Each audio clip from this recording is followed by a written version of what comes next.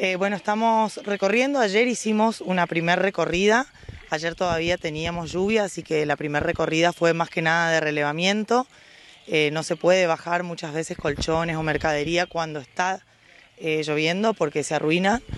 Así que vinimos un segundo día para, para hoy sí ya asistir a las familias que están afectadas por los temporales de estos días. Ahora es la asistencia crítica, es el momento, pero, pero recorrer y estar en territorio, como nos pidió el gobernador, también sirve eh, para poder planificar en el largo plazo y para poder encontrar soluciones más definitivas a la situación de los vecinos. Recorrimos varios barrios, estuvimos eh, ayer también incluso, no solo barrios, estamos eh, yo recorriendo y están los subsecretarios también recorriendo, todos los subsecretarios, está todo el Ministerio de Desarrollo eh, puesto a disposición para trabajar y para acompañar a cada barrio, así que trabajamos en equipo.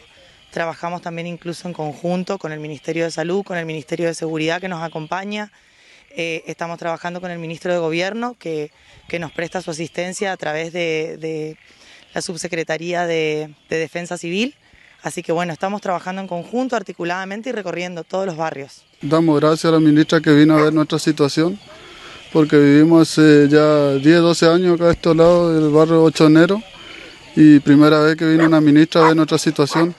Quedamos bajo agua y son bastantes vecinos, son entre 30 y 40 vecinos. Y damos gracias a la ministra que vino a ver nuestra situación.